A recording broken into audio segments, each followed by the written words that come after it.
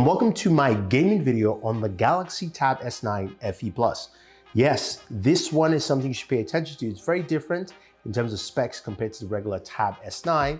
So what do we have? Now we know this device starts at $449, much cheaper for a Tab S device. So that's good to see.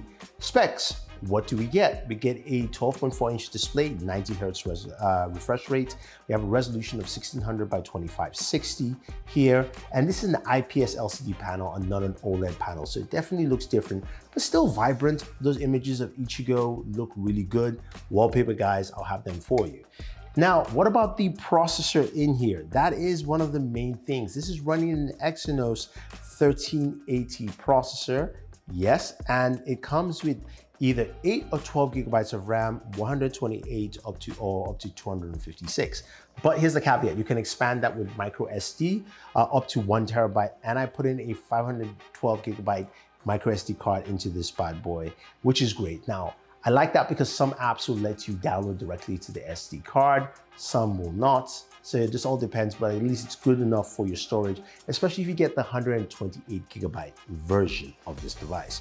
Now you've got Wi-Fi 6 on here, which is great to see, and Bluetooth 5.3, so good connectivity for your controllers, like your Xbox controller while you're gaming. In terms of uh, battery, looking at a 10,000 uh, 90 milliamp battery, and it's 45 watts wired charging. So let's go ahead and take a look at some of the benchmarks first before we get into some of our gameplay. So we're looking at Geekbench 6 and our single core benchmarks are 995. I haven't seen that in a while. So this is definitely a mid-tier device and you should bear that in mind while you're gaming. Multi-core 2817. We look at GPU stats, we're looking at 2,995 here. So very different in terms of stats here for gaming, but Still though, it feels like this device should be able to do some quality gaming for us. So let's take a look at some of the games we like to play. Call of Duty is a game we like to play and we can you can see our settings here. We have uh, low max. It's not the highest settings possible, but it allows us to get some really smooth gameplay on there while gaming 60 frames per second, very solid all the way through. You have no slowdowns anyway at all.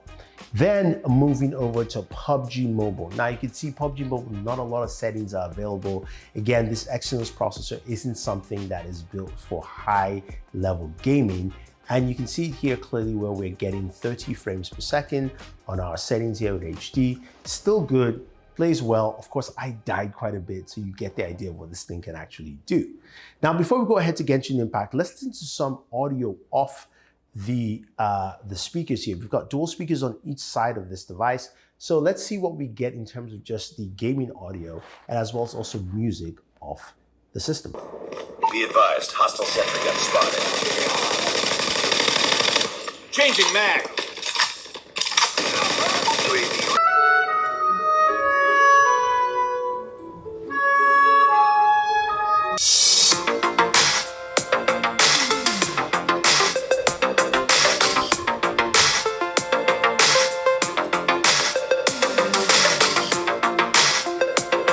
Okay, that was pretty good and pretty solid overall.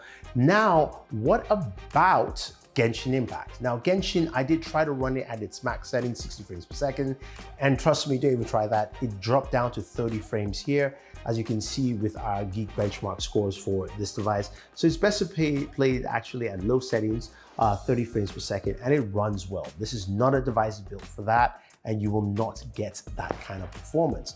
Now, because of, of course, it running at low uh, settings for pretty much most of the games here, what we actually get in terms of temperatures is outstanding. It doesn't heat up at all. Uh, unless of course you're trying to max out Genshin, which I just had to stop. But temperatures stayed relatively cool all the way through my gameplay session. So that's something to definitely take note with the device.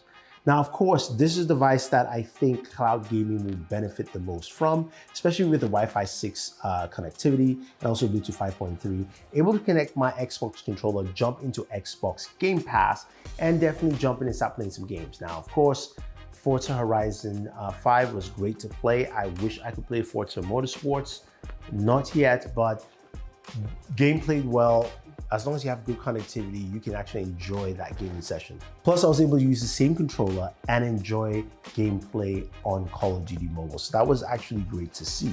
Now, watching video and content on here is great. You have good real estate. Uh, the brightness is actually relatively decent on this device and the S Pen comes in clutch. I do like the fact that it comes with an S Pen. So you've got all those S Pen abilities like the air commands and things like that, functionality all around the device. Uh, plus, you do have the ability to write into spaces where you have to type. So if you're using the pen for anything, this will work well. And the pen feels very comfortable in the hands. Plus, it does uh, connect at the back to charge.